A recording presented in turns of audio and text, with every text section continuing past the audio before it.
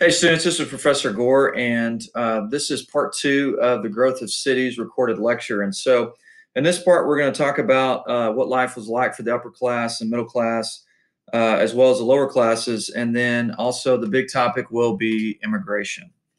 So, um, really, as dress became more universal between economic and social classes, the upper middle class displayed their wealth really by, by membership in these kind of exclusive clubs. So if you're ever familiar with the country club, that's basically what you would um, see, except it would be more in an urban uh, area and so forth. These affluent neighborhoods tend to be away from the city center once better transportation came about, um, such as in uh, Milton and Newton in Boston, Massachusetts. Uh, in Cincinnati, wealthy families settled in the scenic hills, rimming the crowded humid tableland that ran down to the Ohio River.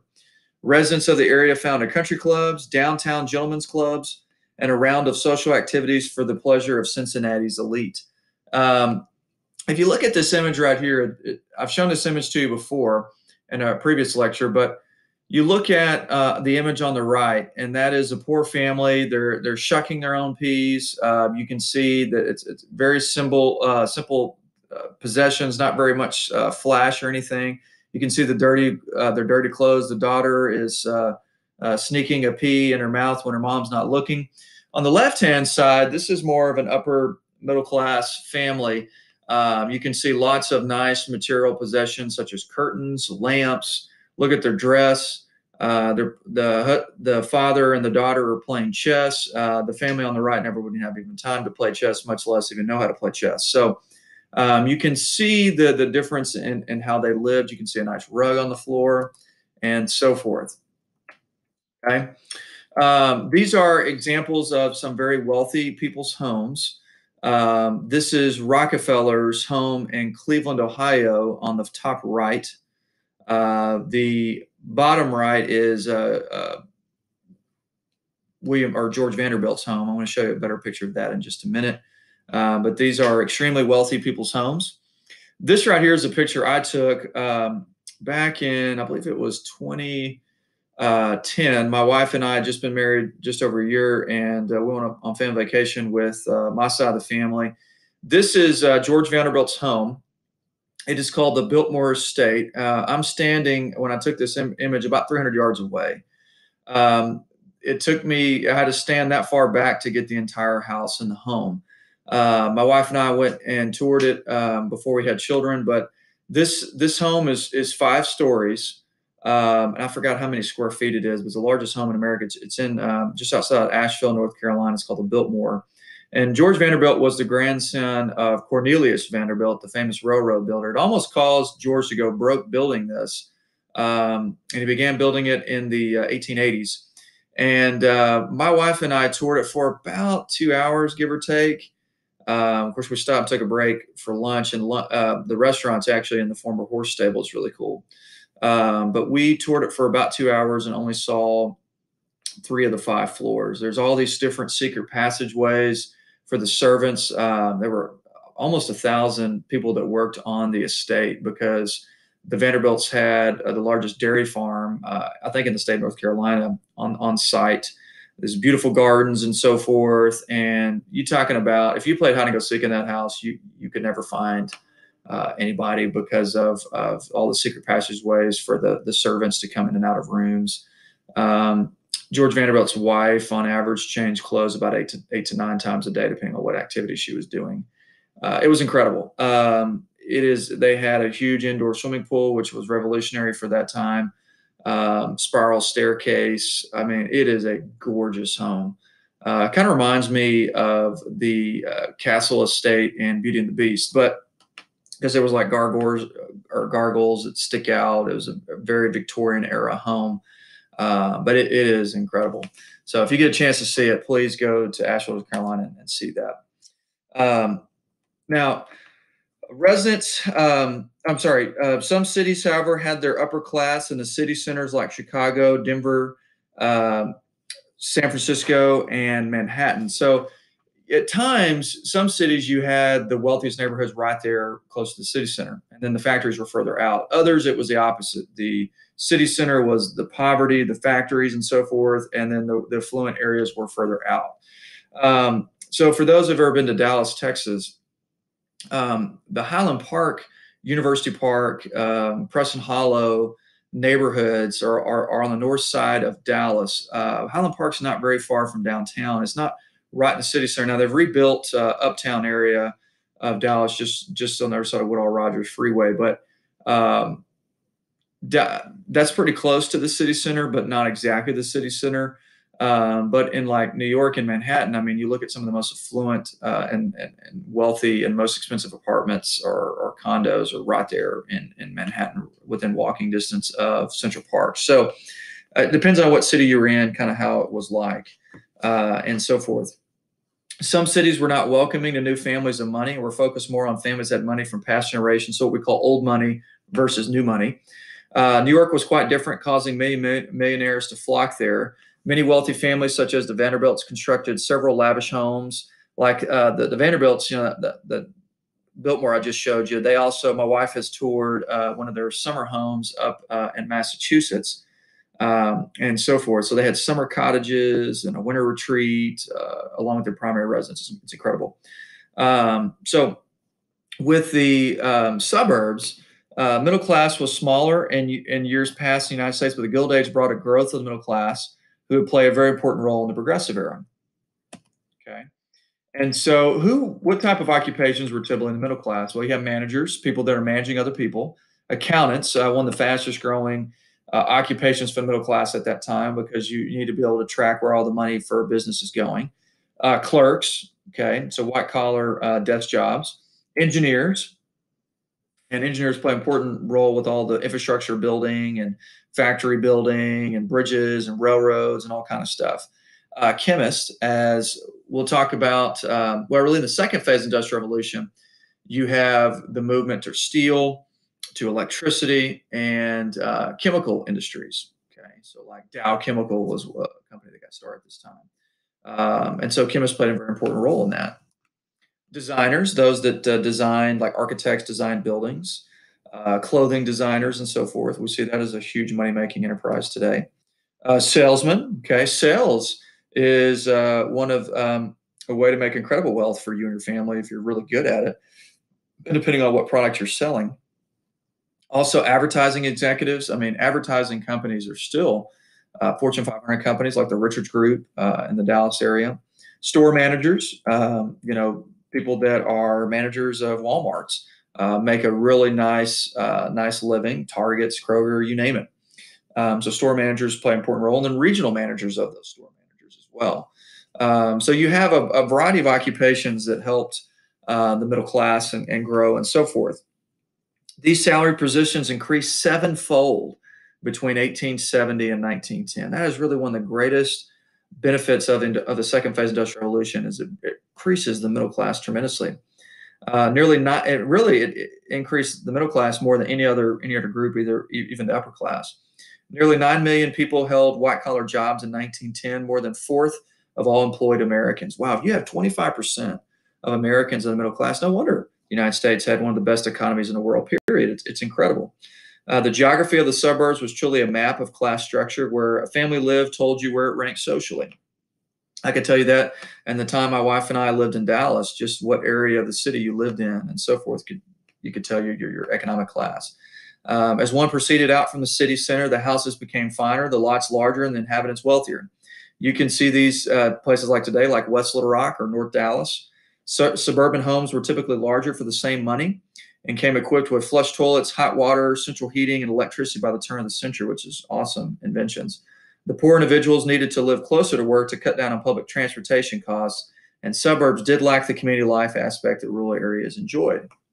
Uh, suburbs are, in some suburbs are bringing that back, but others not. Okay. Um, so it's um, pretty cool, though, um, the innovations that develop at this time, but really middle middle class families became smaller than lower class families with the typical family consist of a husband wife and three children by 1900 today the average american family is 2.5 kids. That's between two and three children okay? Um, and so let's look at what middle class family life was uh, like at this time. Um, so what, let's talk about the wife's role first. Um, so because of if you those who've had me in us um, history one we talked about the cult of domesticity. With the first phase industrial revolution And it continues in the second phase. Um, men left the home for the first time in large numbers to go work in factories, uh, even if they were middle class management positions. Um, so the idea is that the cult of domesticity was is that the the women's sphere was in the home. They raise the children. They take care of cooking and cleaning. Uh, they they take care of decorations. What's crazy is before the Industrial Revolution, what what decorations and so forth there were were advertised typically towards the husband because the husband was in a home and he and his wife made the decision um, after the Industrial Revolution began, they began marketing decorations towards females. They still do that today. You see this with HGTV and so forth. And so, um, what's interesting is as the fiscal burdens of the household work eased, higher quality homemaking became the ideal thanks to magazines like Ladies Home Journal and Good Housekeeping, which Good Housekeeping is still around. In fact, uh, my mother in law still reads it, uh, and so forth. These began in the 1880s. Regardless of the higher quality homemaking, women experienced a subordinate role to men. Although the legal status of married women, their right to own property, control separate earnings, make contracts, and get a divorce improved uh, markedly during the 19th century, law and custom still dictate a wife's submission to her husband. Many bright, independent minded women rebelled against marriage. The mar- and, and they were still the minority. The vast majority of women got married. The marriage rate fell to a low point in the last 40 years of the 1800s. More than 10% of women of, of marriageable age remained single, which was uh, like nothing had ever been seen. Okay, but still, you have just just under 90% still getting married. Um, and the rate was much higher among college graduates and professionals. Men also did not marry till much later, with many men holding out and never marrying. About 10% never married. Still, the vast majority of both men and women married with a much lower divorce rate than that of today, much lower. There, they also took place a, uh, a shift from manhood uh, to masculinity, where men started playing sports like football and baseball, which my personal favorite, uh, and also exercising and working out. Okay. Now, um, let's also talk about uh, um, changing views of women's sexuality. Um, as pressure grew on women to work in the lower classes as well as middle class uh, focus on improved home life, women wanted fewer children. Condoms of the time were associated with brothels, so few women used them. Uh, Anthony Comstock campaigned hard for the nation's most char- uh, moral character to rise. Now, Anthony Comstock um, was really a uh, advocate for um, greater moral laws and so forth, and so um, he he has get some laws passed at the state level and, eventually spread across the nation, which really uh, we can agree in society are, are good things. So, for instance, um, it's illegal to mail uh, pornographic images uh, to homes that don't subscribe to it. Okay. So, for instance, let's say my children are going out uh, and getting the mail, which uh, my, my daughter likes to do that. Um, she wouldn't be opening up the mailbox and have some random pornographic magazine um, come to our come to our house without a, a subscription or, and so forth. And so, if you if you wanted those things, then you could you could subscribe to them. But uh, they were sending out flyers uh, of nude images to try to advertise to get people to come to brothels where prostitutes were. It was terrible. Um, you could see a nude image uh, in a public place. I mean, you can imagine going to a grocery store and seeing a nude image. Those are those are outlawed uh, with city ordinances and so forth. And so those are good things. Uh, prostitution is illegal today across the United States, except for two counties in Nevada.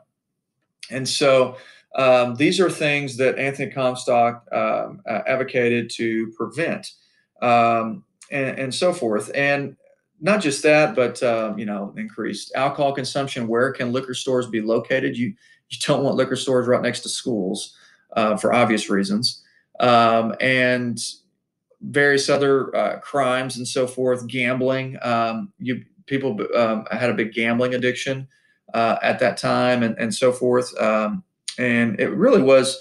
He also tried to prevent preying on uh, uh, immigrants who maybe didn't speak the language, who could be exploited and take advantage of. Um, so these are good things that develop uh, as a result of Anthony Comstock and so forth. Um, so, what's interesting um, as well, many doctors disapproved of contraception at this time, that fearing that taking away sex for procreation might release um, the sexual appetites of men to the detriment of their health and moral fiber of society. Around 1890, however, contraception became more acceptable uh, and reliable and so forth. Okay, this is in the health class. We're not going to go into detail about that. Um, now let's talk about attitudes attitudes towards children. As incomes rose for families, children were no longer seen as just greater sources of income.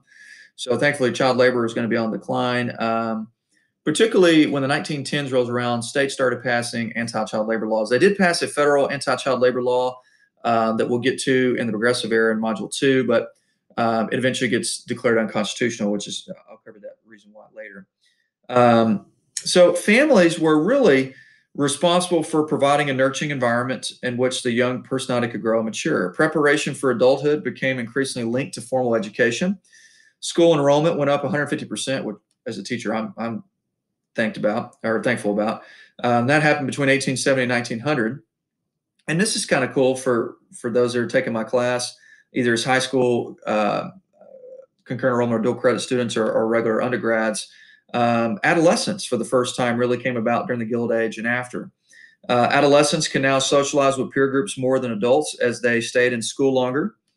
Uh, more and more high schools appeared as time went on, and girls in particular were able to stay in school longer than ever before. Like my grandmother, who was born in 1908 in uh, South uh, Arkansas, um, she was the first person in family not to, to go to high school, and she went to, to through 11th grade. She didn't graduate, but she went through 11th grade, and and uh, in fact, until my dad went to college, and graduate high school, nobody in his family ever gone past the 11th grade. So uh, that that's kind of crazy um, how time has changed and so forth.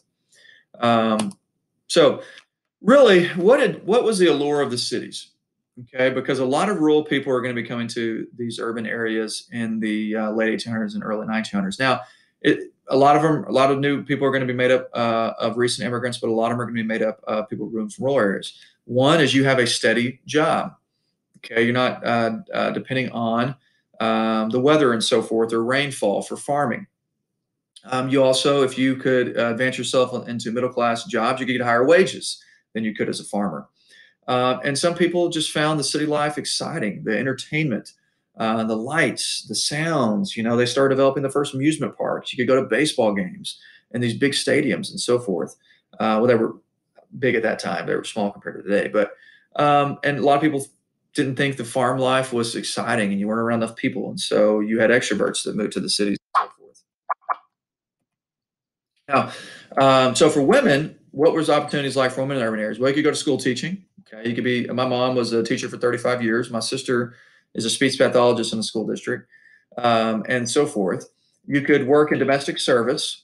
Uh, there began increasing numbers of female doctors. In fact, there's a lot of female doctors today. Um, and women um, started getting becoming lawyers. In fact, there's a lot of female lawyers today, but they were they were pretty small number at that time. But typists, telephone girls. Originally, operators were um, made up of young boys, but they oftentimes used profanity, so they began using women as operators. Librarians, uh, journalists, social workers. Um, and so you're going to have women increase in working from 2.5 to 8 million in a 30 year time span. Okay. Now, uh, in the Roaring Twenties, you have the flapper is kind of seen as the model um, woman at that time, or the most popular image of women.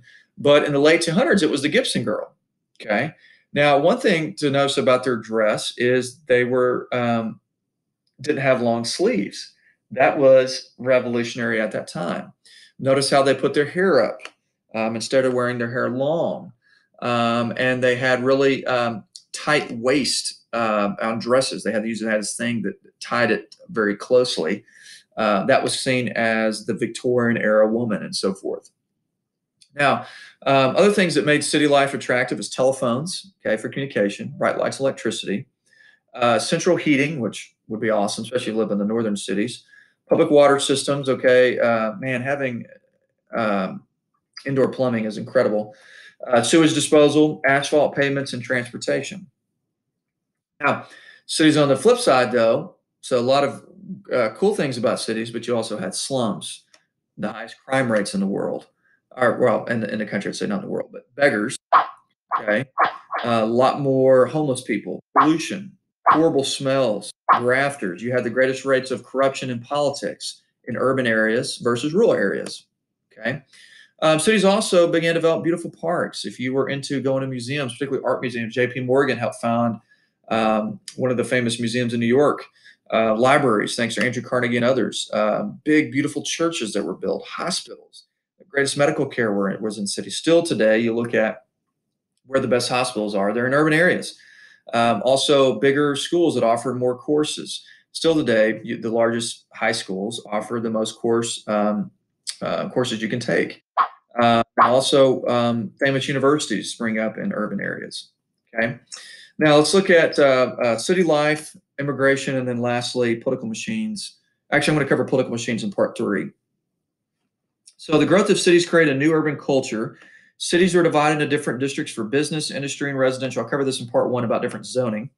Um, but you also had um, not legal segregation like the Jim Crow South, but you had segregation based on race, ethnicity, and social class because of affordability.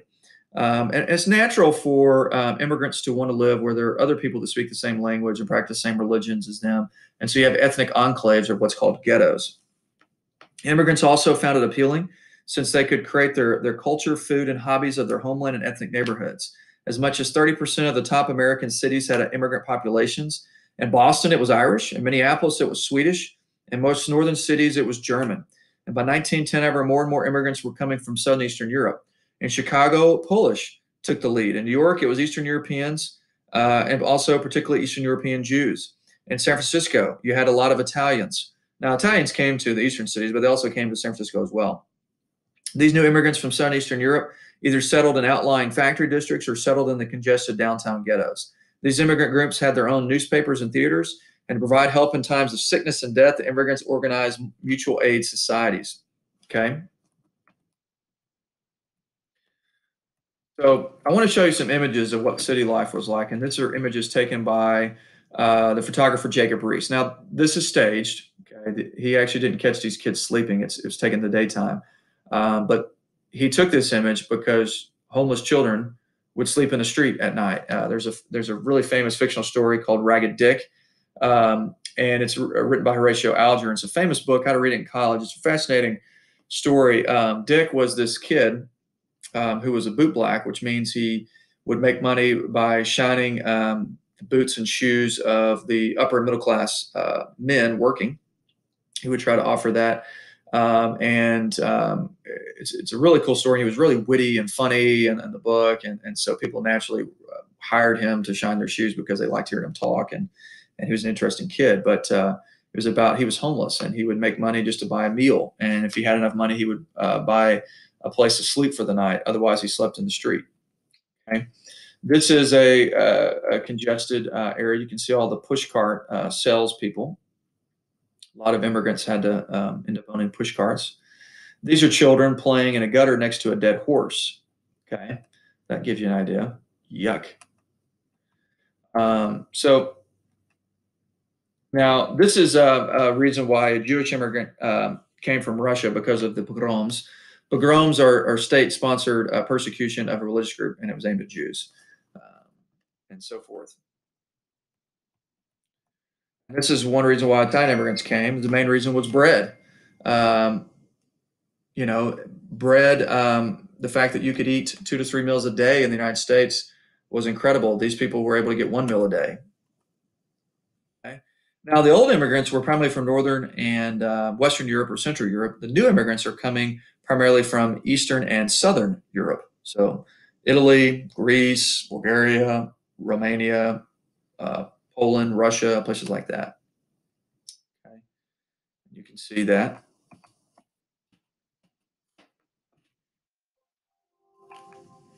Sorry, my PowerPoint messed up there. And so you can see from this chart right here how many are coming from uh, Northwestern, uh, Central, and then you see the rise from Southern and Eastern Europeans, particularly, man, that 1910 uh, to 1920 decade, a ton of immigrants were coming from Eastern and Southern Europe. Now you notice that number declines um, in the 1920s, and that is because of immigration restriction that we'll get to in a later module. You can see right here from this map where the immigrants coming from. Germany made up probably the largest uh, at that time, but Italy, Aust- the Austrian-Hungarian Empire, and Russia are um, are right behind it. And where are they going? Well, they're not going to the south. Uh, there were some that went to Arkansas, Oklahoma, and Texas, and some of the coastal areas, but they are going to the north, uh, the Midwest, the Northeast, uh, the Great Plains states. They're going out west. uh, and so forth. Okay, um, so a lot of the ones that are coming as well from Southern Eastern Europe are Catholic or Jewish um, or something else. Um, th- those that came primarily from Northern and Western Europe were Protestant, and there's a lot of Catholics too coming from Central Europe as well, and also Irish uh, and so forth. So, what were they received? Well, federal and state governments failed to do anything to handle the flood of immigrants because one thing, factory owners who help control a lot of the politics, uh, of the flow of labor for cheap wages.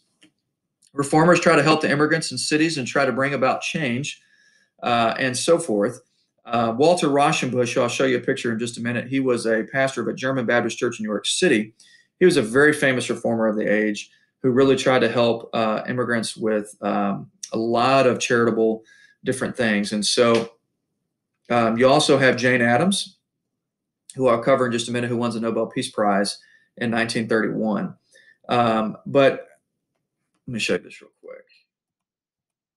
One of the reasons why uh, this anti-immigrant sentiment was aimed at Southern Eastern Europeans, the Southern Eastern Europeans that came um, were different than, um, besides the Irish, because the Irish were really poor um, and predominantly Catholic. But Southern Eastern Europeans, a lot of the ones that were came were some of the poorest immigrants ever come in, in American history. Um, they um, oftentimes resisted um, assimilation and um, some native-born Americans feared that they would control things politically and whatnot. Also, um, you have a group coming over. They were the minority, but they were still coming over from Central, or sorry, from Southern Eastern European as a group called anarchists. Anarchists were the late 1800s, early 1900 uh, terrorists. Um, they they were uh, did this in Europe, and then, when they come to the United States, do as well. In fact, one of them assassinated uh, President McKinley, that I'll cover in the, in the uh, uh, a later lecture. But they um, thought that the way you enact government change, instead of doing the political process or protesting, you just uh, use terrorist activities. You blow stuff up, you kill people, you assassinate, use violence. Um, and so a lot of Americans feared that more Southern Eastern Europeans were going to be anarchists. And there were a growing number of anarchists that, that came. Now, they were in the, the low thousands, um, but and they were not the vast majority of Southern Eastern Europeans, but that, that was way they were portrayed.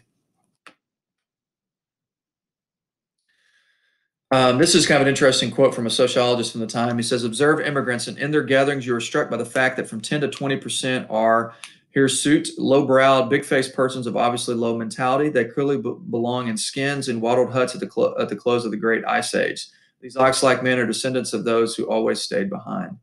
Now, that's a very racist point of view at that time from a sociologist. And you got to realize that social Darwinism um, and and a lot of uh, people that were uh, struck by Darwinist worldview viewed that certain races were more advanced um, in evolution than others, and that is true racism. That's like what the Nazis were during World War II. This is a political cartoon of Uncle Sam sticking his nose up at an immigrant. He said, "Look at this Sabbath desecration. He's got a big keg on his back, so he's a big alcohol. He's got bomb of anarchy, um, and so forth. Poverty, disease is where he's coming. He looks he looks." short, um, not as well developed. He's wearing look like a yarmulke, so they're saying he's Jewish. So there are so many things about this. Um, it's anti-Semitic, uh, very racist, and, and, it wasn't just saying he was just Jewish. It was just talking about immigrants in general. But um, the fact that he had that cap on his head was trying to say, um, portray that. Here's another one about naturalization papers. They portray the immigrants as looking very ignorant. Um, and um, uh, saying that that they are lesser um, developed than other other immigrant groups. Here's the other one. This is the these wealthy barons and so forth that's portraying in their shadow as they were immigrants that came over to the United States decades before. Now, Emerson, um, here's the famous transcendentalist writer that we covered in U.S. History 1. Um, he said the German Irish millions, like the Negro, have a great deal of guano in their destiny. They are ferried over uh, the Atlantic and carted over America to ditch and to drudge, to make corn cheap, and then to lie down prematurely to make a spot of green grass on the prairie. He was critical of them. President Grover Cleveland, it is said that the quality of recent immigration is undesirable. The, the time is quite within recent memory when the same thing was said of immigrants who, with their descendants, are now numbered among our best citizens. Cleveland was defending the immigrants. Now, where are the immigrants coming to primarily on the East Coast? Well, they're coming to New York, they're coming to Boston, they're coming to Baltimore, they're coming to Philadelphia, uh, they're going to make their way to Chicago and other cities. Uh, on the West Coast, um, coming from Asia, they were going to San Francisco primarily. And so you had Ellis Island, uh, the most famous immigration center uh, in American history. Now, Angel Island was in San Francisco, so kind of a lesser known one on the West Coast. And so a lot of times immigrants that were coming to the United States um, that went through Ellis Island, um, if they if they had a name that was really long, like last name they couldn't pronounce, they would shorten it. So a lot of immigrants' last names got changed um, at Ellis Island, and they would uh, take a, le- uh, a loyalty oath and and so forth, and they would take a test and to see if they were um, uh, could be American citizens. You can see these immigrants are bringing everything they own in those bags. About 25% of immigrants worked in the U.S. Uh, and then and then uh, went back home. Uh, it could have been as much as 50%, depending in some areas and some immigrant groups. Um, the reason why they were wanting to make high wages, uh, maybe they missed home, and after they made high wages, they want to return, or they didn't make it in the United States, and so forth. Um, here are people getting a meal at Ellis Island. Here are people taking the allegiance to the United States. Here's another immigrant family. Uh, here's immigrants working in a sweatshop in a tenement. Here's another one. Looks like the um, person is picking their nose with the scissors. These are garment workers. Okay. Now let's look at um, this social gospel and the settlement house movement um, because these are really, really cool in American history. Now, some historians refer to the social gospel movement as like the third great awakening in American history, but these are primarily Protestants um, who are going to, to do a lot of charitable aid to the poor. Okay, and we see this these charitable stuff uh, in cities across America. Um, and so it may not seem like because if you're not uh, around charitable uh, acts and so forth that, that, the United States doesn't have it. Man, actually, statistically speaking, the United States is the most giving nation uh, in the world. Uh, great Americans give a greater percentage of their income than any other country uh, in the world, which is pretty cool. So um, the, the reason why they call it the third great awakening is particularly Protestant Christians realize, hey, um, there is a lot of urban problems, and we need to be taking care of the poor, the homeless, the downtrodden, the abused women. Uh, and they developed um, orphanage. Um, not until late 1800s did you have um, states take over uh, for like a foster care system. Not until the really in the 20th century because uh, churches took took care of orphans and so forth. And so like uh, my uh, I have some relatives that uh, foster their foster parents in the state of Arkansas and, and, and adopted um, uh, one of their children, and so this is kind of uh, near and dear to my family. And um, but they um, provided uh, soup kitchens and uh, try to give some training about job. They have teach English classes, taught them some some. immigrants came that were so poor never used a fork, and so they taught them how to use utensils uh, try to teach them some American culture and so forth. And um, uh, really did some some incredible charitable aid uh, to these people. Had food kitchens and and uh, uh, food pantries and so forth, where people could come get free food. Um, job training helped them set up with, with economic opportunity. Walter Rauschenbusch is probably one of the most famous uh, Protestant ministers who was part of this. Now, let's switch gears a little bit. Jane Addams and Ellen Gates Starr weren't necessarily um, tied to Protestant groups, but a lot of there were other settlement houses that were. What the settlement house movement was is these were would be homes that were um, uh, purchased. Like Jane Addams was a wealthy widow; she purchased uh, uh, the Hull House in Chicago, and what she did is she took on immigrants. She would recruit uh, nurses to work at night to provide medical care for immigrants. Um, they would teach them English. Um, they would teach them how to eat properly in American um, culture and so forth. Um, they um, they would also um, uh, provide English language training, um, provide protection if they were homeless or uh, a battered uh, woman and so forth. Uh, kind of help them get on their feet, teach them uh, American uh, culture and so forth. Um, and, and this is why Jane Addams won the Nobel Peace Prize. It's really one of the great acts of, of philanthropy and charity in American history. And Ellen Gates Starr does the same thing in New York.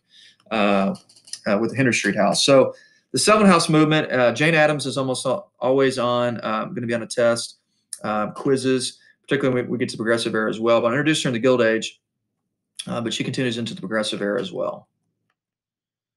So the charity organization movement um, really pushed on on providing basic charity you would see today, um, and but they wanted them to adopt and assimilate in American society.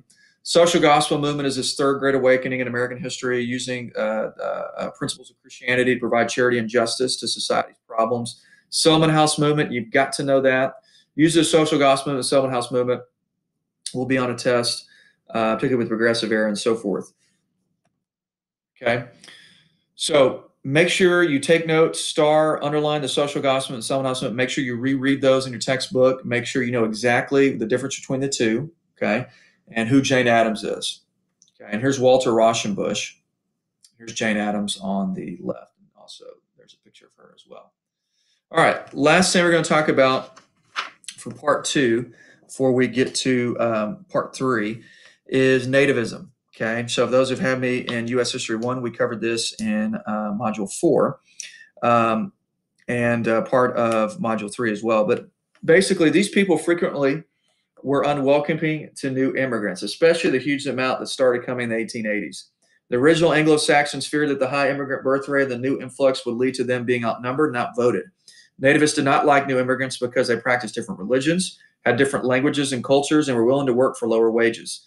Because a lot of them felt like that they were um, economic challenges to their prosperity. It was, it was job competition. Um, labor unions are going to be some of the biggest nativists uh, at this time in American history uh, and so forth. So they didn't like uh, some of the different religions that were coming, different languages and culture, uh, work for lower wages. So big time job comp job, job job competition is probably the biggest reasons why they didn't like them.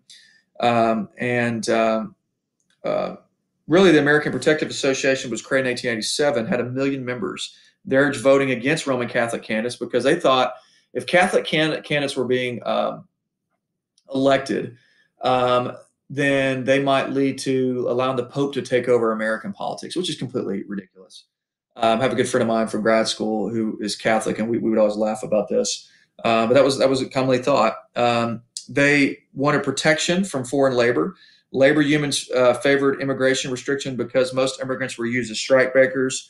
They were willing to work for lower wages. They were difficult to unionize, and they were non-English speaking. Congress eventually prevented paupers, criminals, and convicts from coming in 1882 and later they prevented the insane, polygamists, those that had multiple spouses, prostitutes, alcoholics, anarchists, and people carrying contagious diseases. You know, you don't want people carrying contagious diseases immigrating uh, to your country because they could spread to a pandemic. Many nativists wanted literacy tests, but it was was vetoed by three different presidents. Uh, but it was finally enacted in 1917. Eventually, they, they do away with that in the civil rights movement. Congress tried to pass literacy tests, the quota system, and the gentleman's agreement to restrict immigration. Now, the gentleman's agreement uh, was done in 1907 under with Teddy Roosevelt. I covered this really in module two, so I'm going to introduce this briefly. But um, what ended up happening is there was an earthquake in uh, the San Francisco um, area. Uh, well, just in California in general, but it was near San Francisco. And the San School, school Board um, had had noticed had damaged buildings. They took the white kids out of the school building. And this is this is terrible, especially as a teacher. This really bothers me, but um, they left uh, in the damaged building the uh, Chinese, Korean, and Japanese uh, children. So they're in, in, an unsafe learning environment, okay, which is wrong on so many levels. Now, Teddy Roosevelt found out about it because the Japanese government had sent a, a pretty scathing letter to him, and he was furious about it. He called the San Francisco, San Francisco School Board of D.C., gave them a butt chewing, and basically said, demanded that you put those children in a safe school environment uh, and, and quit being ridiculous. Now, because Roosevelt at the same time knew that there was kind of a rising rivalry taking place with Japan, um, he basically kind of made an agreement with the Japanese government. It wasn't official. It was, it was kind of like a gentleman's handshake. Said, look, we will make sure, and I give you my pledge that Japanese citizens on the West Coast will be treated better. Okay. Now he fulfilled his end of the bargain, at least in his lifetime. And then his cousin FDR puts Japanese Americans into internment camps during World War II. But um, and then Japan agreed that they would stop sending so many immigrants over there. Okay. A lot of Japanese that were poor were coming to work in the farms and, and the railroad industry, and a lot of them were going to Hawaii and working in the sugar plantations and so forth. And uh, basically, we'll treat your citizens better in exchange for you quit sending so many over. Okay. What's interesting is that Teddy Roosevelt predicted that the United States would eventually go to war with Japan, and that prediction came true when they attacked uh, Pearl Harbor on December 7, 1941. All right, we will come to urban blacks when we get to part three.